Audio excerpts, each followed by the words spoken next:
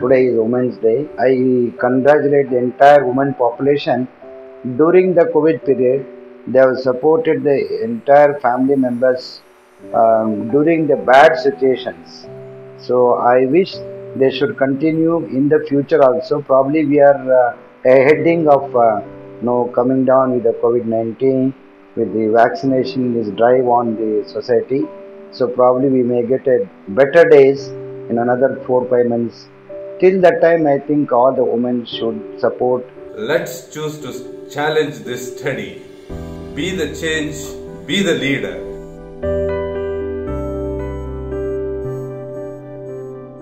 There are no words to describe the contributions made by women for the family, for the society, and for the nation. Friend, a teacher, and an achiever for excellence, and most importantly, being in the forefront in all the space of life. So to say, multifaceted personality.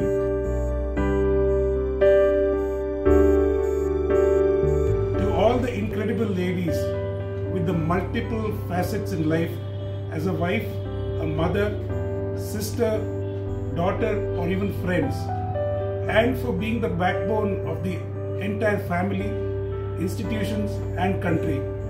My heartfelt wishes on an International Women's Day. The theme for this year is Pledge for the Women in Leadership Qualities. equality of women with men in all walks of life.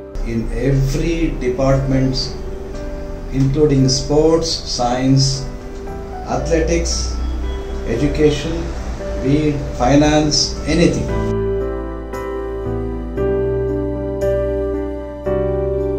wish all my women colleagues, friends, relatives, Every day, you people are all part of us during our infancy, childhood, adulthood, and even our later part of life.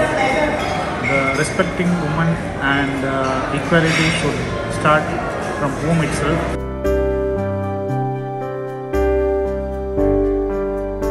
I wish everybody should become a healthy a happy Women's Day. Happy Women's Day. happy women's day Happy Women's Day. Happy Women's Day. Happy Women's Day. Happy Women's Day. Happy Women's Day to all.